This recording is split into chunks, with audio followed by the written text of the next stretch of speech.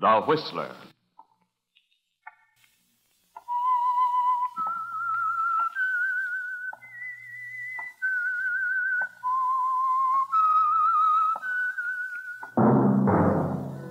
And now, the Whistler's strange story The Rawhide Coffin.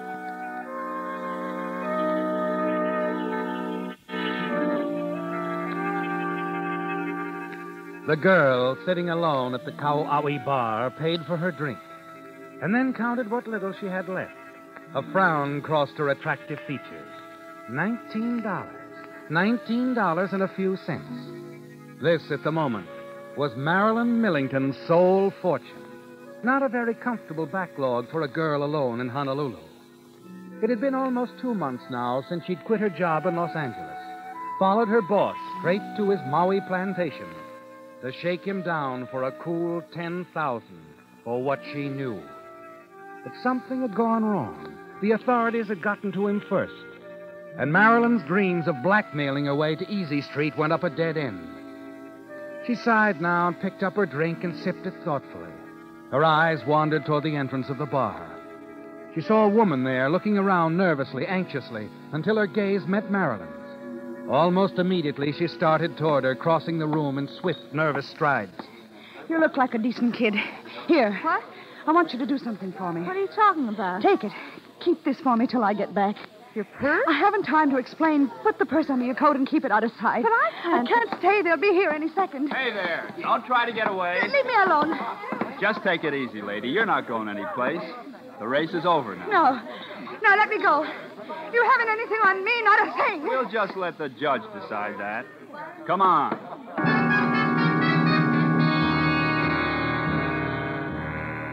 In the mirror, you watch as the policeman escorts the woman out of the bar. You wonder what it's all about, don't you, Marilyn?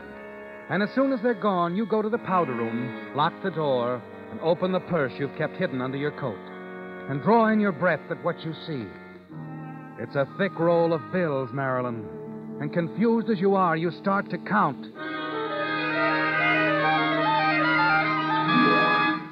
Eight hundred. Eight hundred dollars.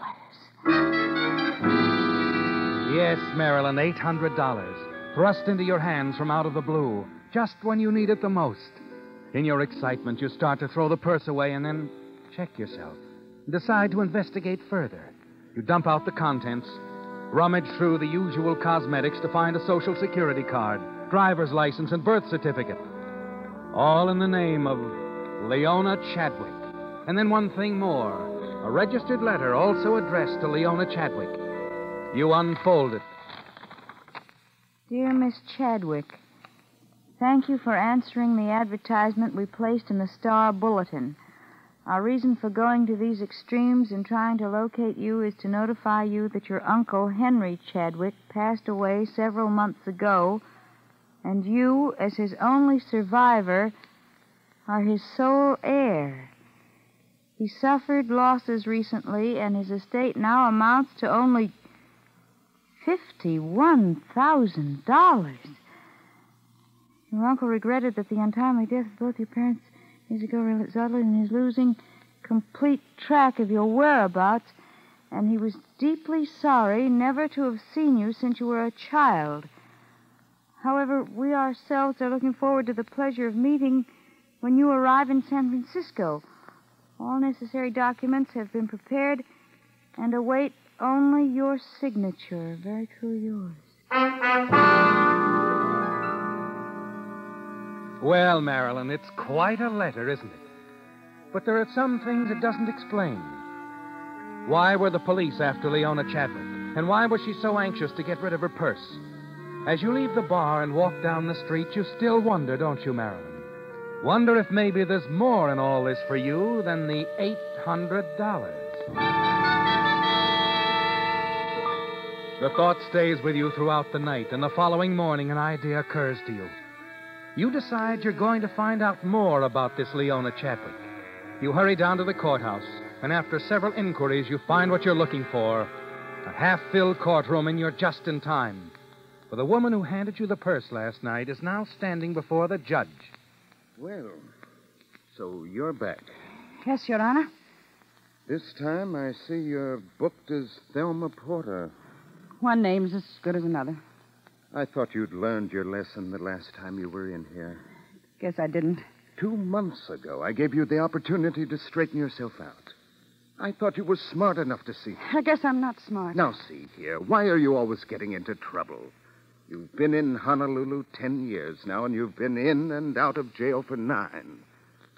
What's wrong? You look like you're from a decent family. The best, Your Honor.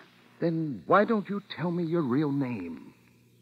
We could get in touch with your family, maybe maybe they'd make things easier for you. Thank you, Judge. But you'll never know my real name. Never. Have it your way. Why didn't you report to your probation officer? I was away visiting friends, but I can pay my fine. There won't be a fine this time. This time you're going to prison. Thirty days. Thirty. Da- but, Judge, I've got to go to San Francisco. Sorry, thirty days. Please, Your Honor. I've just got to get to San Francisco.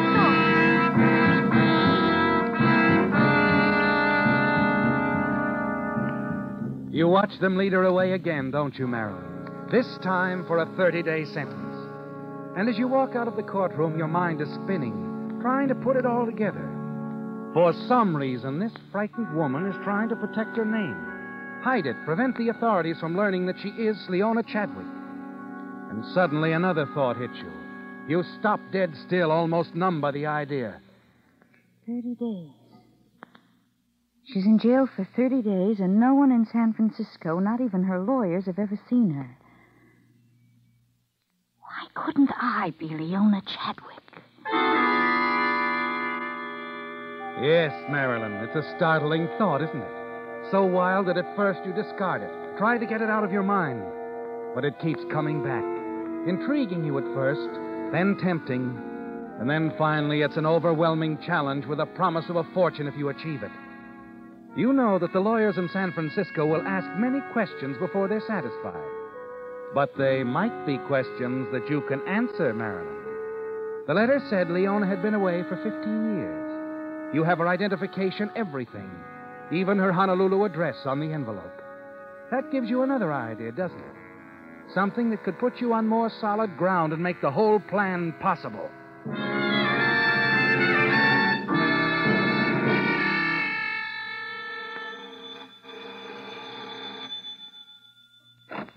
Yes? Yes, what is it, dearie? Uh, how do you do? Are you the landlady here? yes. Mm-hmm. Yes, I'm Mrs. Cooksey. Well, come about a room, have you? Well, no. You see, I'm a reporter for the Star Bulletin. I- I'm inquiring about Leona Chadwick. I, I understand she inherited quite a bit of money. Oh, that she did.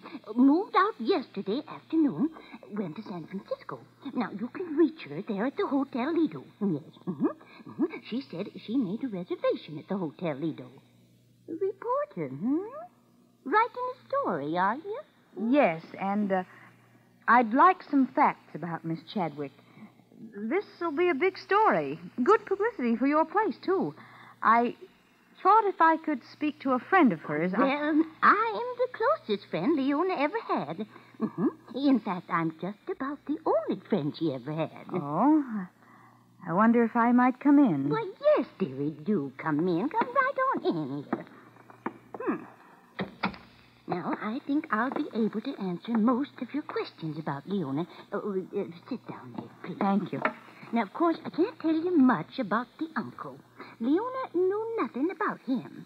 But just that he bought, you know, and he sold antiques in San Francisco. I see. Hmm? About her parents. Well, she had two. Their names. Did she ever mention their names to you? Oh, my, yes, many times. Now, her father's name, wait, now let me see now. Oh, yes, it was Fred. Yes, that's it, it was Fred. Now, Leona used to say,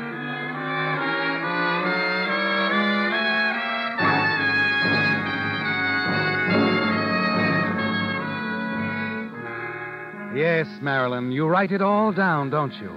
Take a half hour of careful notes for your paper until you have nearly 20 pages of information, all of it concerning Leona Chadwick.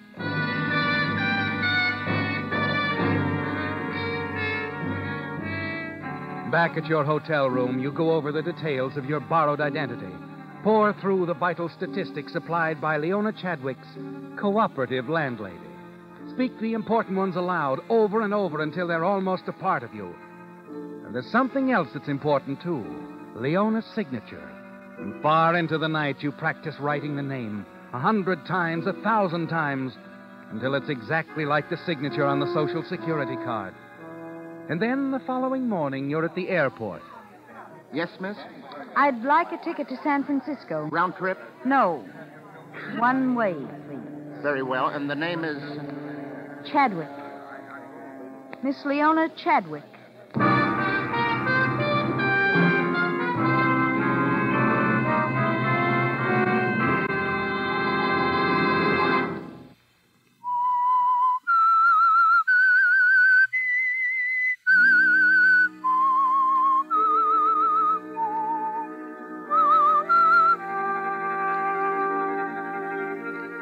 It's exciting, isn't it, Marilyn, the way it all began?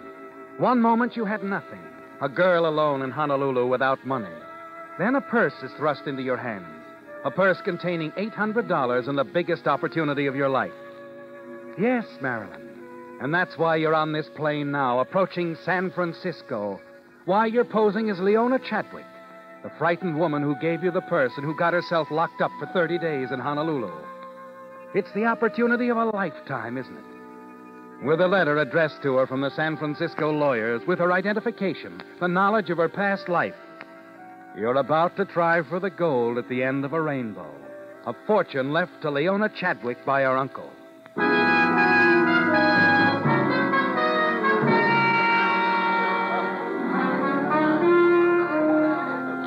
Front boy. Front boy. 221 for this couple.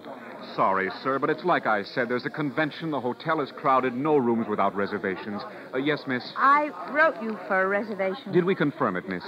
Well, you see, I left home so unexpectedly. I see. What is the name, please? I'll check it.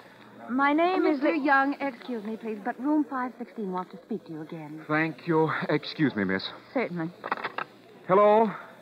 Uh, no, I'm sorry. No, there's no message for you here. Well, I'm sure the switchboard operator will connect you when any call comes through.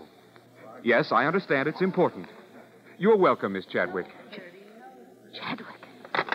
And now your uh, reservation, Miss. Uh, That, uh, that Miss Chadwick you were talking to, uh, yes? that isn't Leona Chadwick, is it? Why, yes. Yes, that's right. From Honolulu? Yes, she checked in last night. A friend of yours? Yes. Yes, she is. I see. Now about your reservation. What was the name again, please?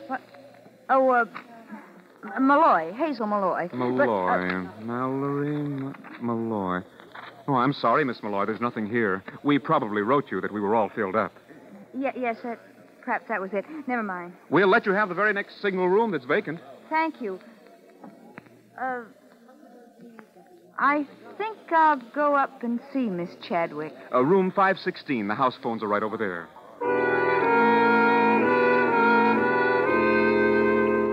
Well, Marilyn, your scheme hasn't worked out according to plan, has it? It seems someone else is taking advantage of Leona Chadwick's jail sentence. Yes. And as the elevator reaches the fifth floor, you know there's only one thing you can do, and that's to have a showdown with the girl in room 516. Who is it?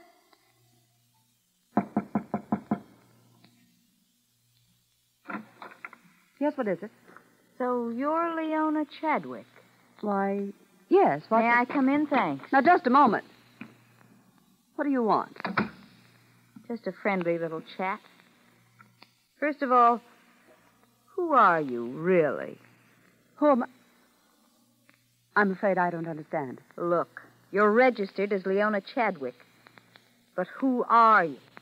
Now, see here. Come on, throw away the bobby pins and let your hair down. Whatever it is you're getting at. Let's at. put it this way, then. I want to play Leona Chadwick, too. My dear girl, I have no idea of what this is all about. But it's beginning to tire me. Leona Chadwick's in jail. You and I both got the same idea to collect her inheritance while she's tied up. I hate to disappoint you, my dear.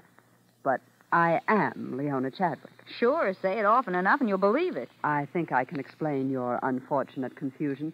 This girl in jail, she had a purse, perhaps? Purse? What do you mean? The purse was mine. That girl was a thief. She grabbed it from my arm just as I was going through the gate to get aboard my plane. That purse was hers. The only reason she gave it to me was to hide her identity. If she gave you the purse, she was only trying to dispose of stolen property before the police could find it on her. You Got it all figured out, haven't you? Very convincing story. Only I don't believe it. It really makes very little difference to me whether you do or not. If you are Leona Chadwick, why don't you call the police? Right now. That's an excellent idea. Well, go ahead. What are you waiting for, Leona? Call them. All right. No, no, no, no, wait. Do you know someone named Cooksey? Yes. Mrs. Cooksey, my landlady in Honolulu. Hello, operator. Put that phone down. Hello. Oh, what is the matter with that operator? Operator! I'm warning you, put that phone down.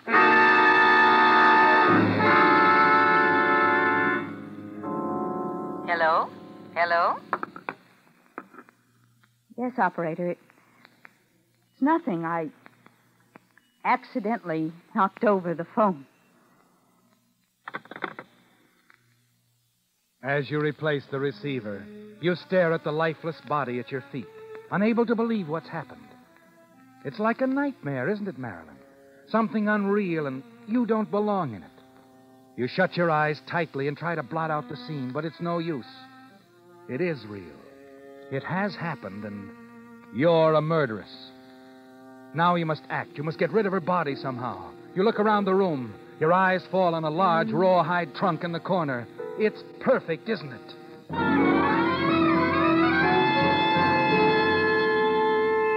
Minutes later, it's done. You've placed Leona Chadwick's body inside the trunk. And now all you can do is wait. Wait for the call from the lawyer's office. The same call that Leona was waiting for. It's got to come soon. You tell yourself that. And as the moments tick into hours, you become increasingly worried. And then. Yes? Miss Chadwick? Yes? This is Miss Menken at Hodgkins and Winters.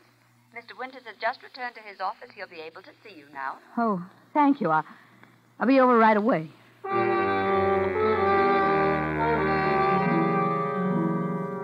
As you lock the hotel room behind you, you pause for a moment in the hall.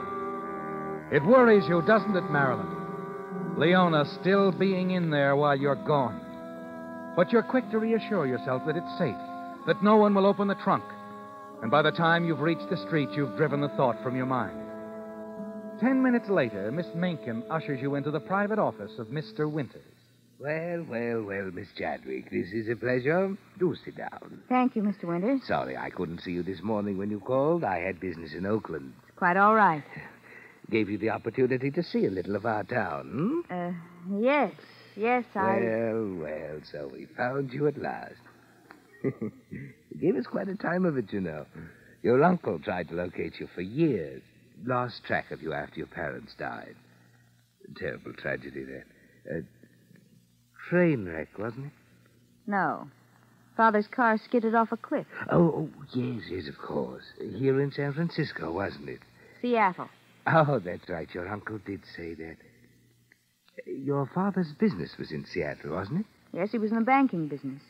With my mother's brother, Charles Turner. Oh, yes, yes. Your uncle always spoke highly of your mother, Miss Chadwick. Uh, born in Hong Kong, wasn't she?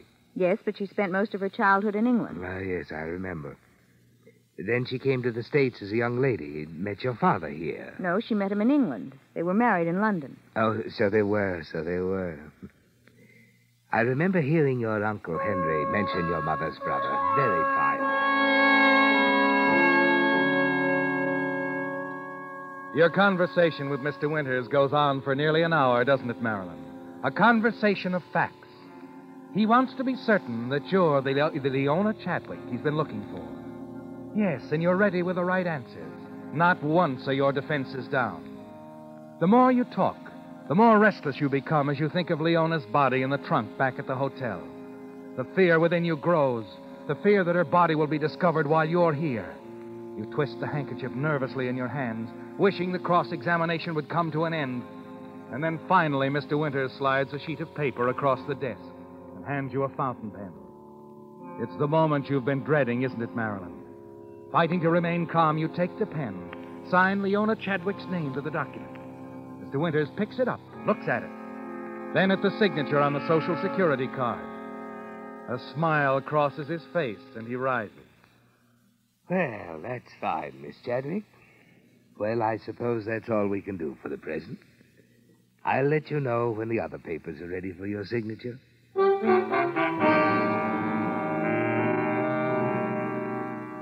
A moment later, you leave Mr. Winter's office. And as you pass his secretary's desk, you notice she's talking on the telephone. Her back is toward you, and she doesn't see you. And then, as you open the outer door and are about to step out, something she says on the telephone stops you in your tracks.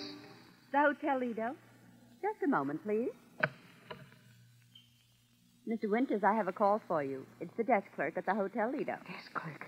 It's about Miss Chadwick. He says it's important.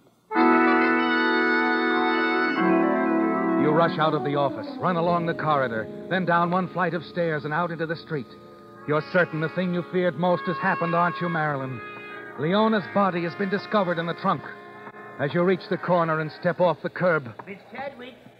Miss Chadwick! you hear Mr. Winters calling you from his office window, and you start rapidly across the street.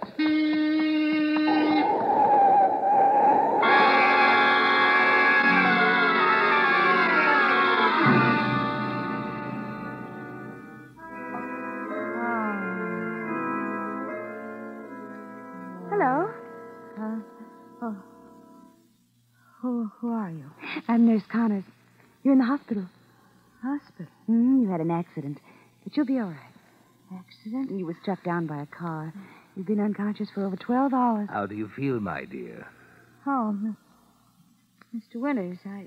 You know, I see. I, I feel somewhat guilty about all this. If I'd run out after you instead of trying to call you from my window, I might have prevented all. What, it- what do you mean? I. Well, there was a phone call for you from your hotel. The clerk was inquiring about a friend of yours, Hazel Malloy. Seemed they promised her a vacancy. Hazel Malloy? Yes, he, he wanted to know where he could reach you. Oh. Oh, I see. Oh, by the way, I, I brought the papers along for your signature. I just leave them with you. Oh, thank you, Mr. Winters. And there's I'll- no hurry whenever you feel up to it. You need rest, my dear. And don't worry. Everything's going to be all right. You're